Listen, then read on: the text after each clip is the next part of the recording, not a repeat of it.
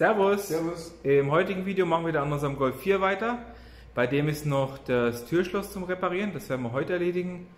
Und ja, das Problem ist halt, dass das ZV nicht richtig funktioniert. Geht nur noch das Fahrerschloss auf und das wollen wir heute beseitigen, den Fehler, damit die Türen wieder alle aufgehen. Jetzt können wir uns das hier mal anschauen, wenn wir den Schlüssel benutzen. Und zwar jetzt ist die Tür offen. Wenn man die Tür zuschließt, das macht er, aber man hört halt keinen elektrischen Ton. Also sprich, die Zentrale, die funktioniert nicht. Also hinten ist auch noch geschlossen. Das geht auch nicht auf und zu. Als erstes werden wir jetzt mal die Tür öffnen, damit wir den Schließzylinder lösen können. Und zwar, haben wir jetzt hier diese Plastikverkleidung. Die muss zuerst runter. Und da innen jetzt, das sieht man jetzt hier, da ist eine Schraube drin. Die muss gelockert werden. Dann kann man vorne den Schließzylinder sozusagen nach vorne wegnehmen. Zwar ist da eine Torx-Schraube drin, die muss man lösen. Da ist dann so ein Messingring um die Schraube rum, beziehungsweise um den Halter. Der hält den Schließzylinder vorne fest, damit man den nicht einfach rausnehmen kann. Die Schraube muss auch nicht komplett rausgenommen werden, sondern einfach die wird gelöst, damit sich dieser Ring da drin entspannt. Dann kann man den Schließzylinder vorne wegnehmen. Jetzt mal den Griff nach ein bisschen, jetzt sieht man schon, jetzt kommt der Schließzylinder schon raus. Da ist innen jetzt noch dieser ja, Seilzug für den Griff. Genau, und ist sozusagen der Griff mit Türschloss bzw. Schließzylinder schon ausgebaut. Im nächsten Schritt werden wir jetzt hier die Türverkleidung zerlegen. Und so haben wir jetzt einmal hier die Griffschale, die muss weg. Da ist hinten so ein Plastik, ja, Plastikteil dran, das man nach vorne wegziehen muss, damit der Griff sich lösen kann. Dann kann man den Griff nach oben wegziehen. Der ist eingeklipst. Muss man auf der Rückseite noch die Stecker lösen. Kann man den zur Seite legen. Jetzt haben wir hier drinnen haben wir Kreuzschlitzschrauben. Die müssen entfernt werden, damit er sozusagen oben locker ist und man die Verkleidung dann auch letztendlich runternehmen kann. Dann haben wir hier oben an der Ecke noch eine. Die müssen wir auch lösen, das ist auch ein Kreuzschlitz. Jetzt haben wir unterhalb von der Verkleidung noch drei Schrauben, die müssen wir auch noch lösen und dann kann man die Türpappe wegnehmen.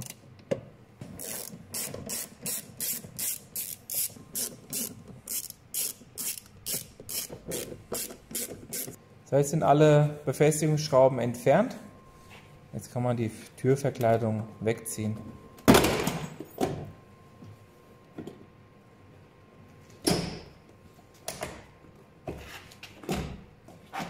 Jetzt haben wir hier oben den Seilzug für die Türbetätigung von innen. Die kann man da aushängen. Jetzt haben wir kleine Haken drin. Dann haben wir jetzt noch das Kabel für die Spiegelverstellung. Das werden wir auch rausnehmen. Genauso wie für den äh, LED von dem Knopf oben. Und somit ist die Türverkleidung auch schon weggebaut. Bevor wir jetzt das Innere hier lösen können, müssen wir jetzt erstmal die Scheibe lockern. Die müssen wir nach oben äh, ja, aushängen, weil sonst können wir den ganzen Teil hier nicht ausbauen. Dazu haben wir jetzt uns noch mal kurz den Stecker angeschlossen, bzw. den Fensterheber, damit wir das Fenster hochheben können und dann auch lockern können. Dann können wir jetzt hier in die Löcher reinschauen. Da fährt jetzt gleich die Befestigung von der Schraube hoch. Da sieht man das schon. Die muss man lösen, damit man die Scheibe sozusagen locker machen kann. Die werden wir uns dann oben an dem Türrahmen festkleben. Dann kann man die ganze Kabellage und das ganze Teil hier abbauen. Es reicht, wenn man sich da ein bisschen Klebeband hernimmt. Dann kann man die sozusagen einfach oben einhängen, damit sie nicht runterfallen kann. Dann passt es. Wenn man jetzt hier reinschaut, das sind jetzt diese Füßchen, die die Scheibe normalerweise festhalten. Im nächsten Schritt werden wir jetzt hier die ganzen Zehnerschrauben lösen, damit wir dieses Teil da komplett rausbekommen.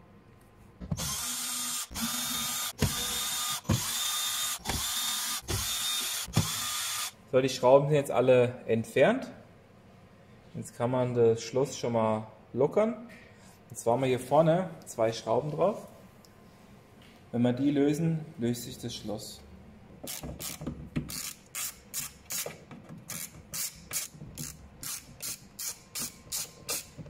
Da die Innenverkleidung ausschaut, als wäre es noch nicht unten gewesen, wird es relativ schwierig sein, die abzubekommen. Das ist aber normal. Ähm, ist auch kein Problem, wenn sich das ein bisschen verbiegt, weil das sehr weiches Material ist. Das Problem ist halt nur, ja, das schaut schlimmer aus, als es ist. Wie man sieht, es löst sich jetzt hier schon. Mal ringsrum ein bisschen abmachen und dann kommt es schon runter.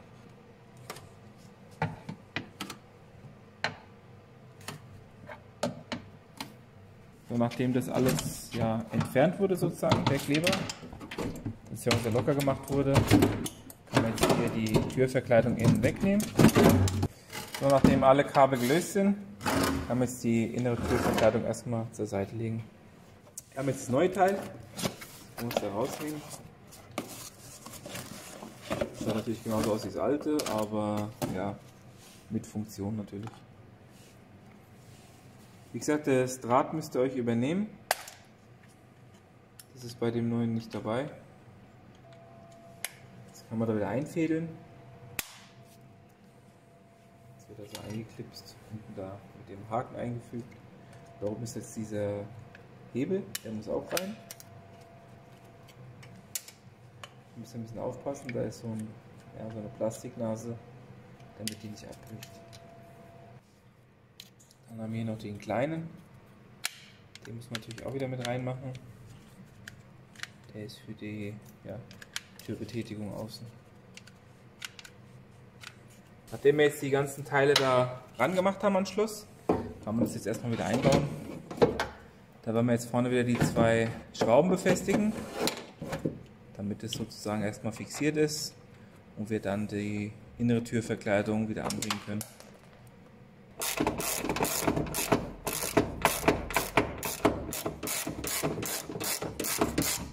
Wenn das Schloss drin ist, kann man den Türgriff auch wieder einbauen. Der ist so eingehebelt. Dann müsst ihr innen wieder schauen, dass ihr die kleine Lasche da drauf bringt. Die ist sozusagen dafür zuständig, dass wenn man außen den Türgriff anzieht, dass die Tür auch geöffnet werden kann. Sieht man jetzt, da ist so ein kleiner Plastikkopf, der wird da reingesteckt. Jetzt haben wir den Schließzylinder, der muss da wieder rein. Nachdem der drin ist, kann man jetzt hier drinnen wieder die Schraube befestigen, damit der Schließzylinder auch wieder befestigt ist. Richtig.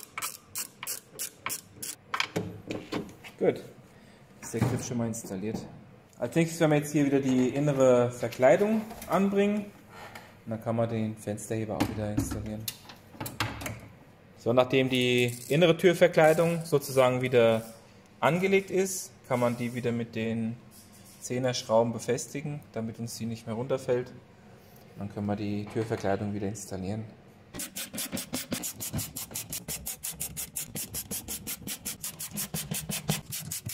Jetzt können wir das Klebeband wieder von der Scheibe entfernen, damit wir die Scheibe sozusagen wieder auf ihre alte Position bringen können.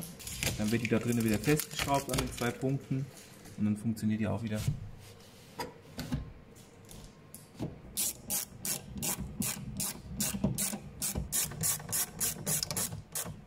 Jetzt hier die Deckel wieder zumachen. Diese Service-Luken.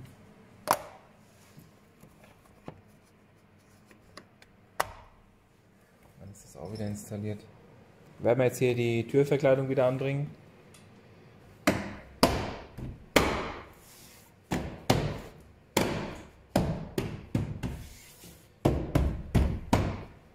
So, die Türverkleidung wird da einfach nur drauf gehämmert wieder.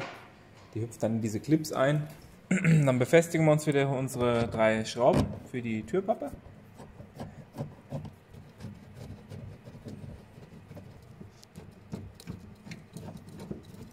Dann die drei unteren wieder.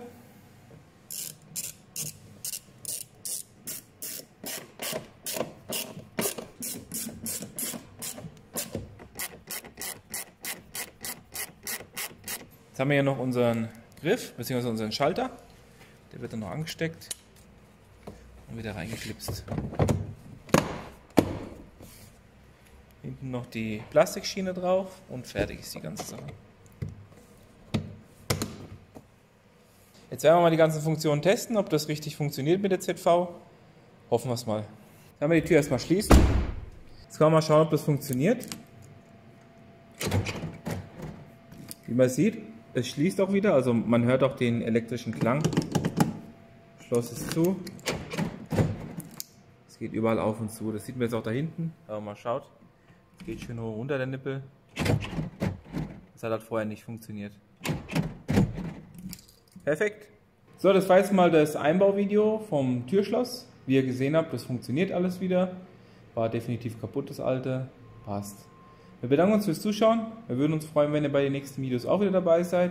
Bis zum nächsten Mal. Servus. Servus.